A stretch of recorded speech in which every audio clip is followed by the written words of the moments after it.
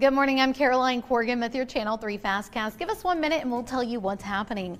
The Hamilton County Health Department issued a warning to commissioners Wednesday that a possible third wave of COVID-19 might be on the horizon for our area. Becky Barnes told commissioners that the surge is possible since the highly contagious Delta variant has appeared in our area.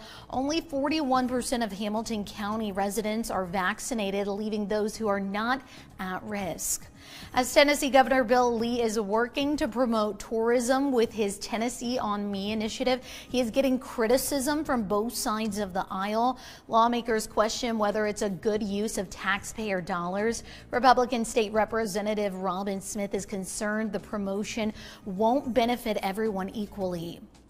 10 candidates have applied to fill Dr. Steve Highlander's vacancy on the Hamilton County School Board. Dr. Highlander was appointed to the District 9 Commission seat last month following Chester Bankston's retirement. It will take about three weeks for commissioners to interview the candidates and will make a decision at their August 4th meeting. Take the news with you in the WRCB app and check back with us throughout the day. I'm Caroline Corrigan. That's your Channel 3 Fastcast.